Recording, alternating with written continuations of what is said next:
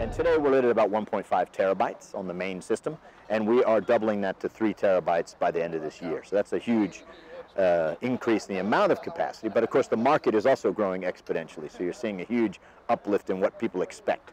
People who used to buy 10 meg in their office now buy a, a gig.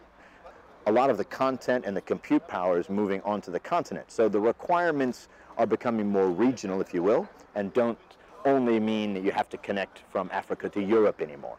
I think what we're seeing now is more interregional connectivity, but that capacity levels are required between the regions.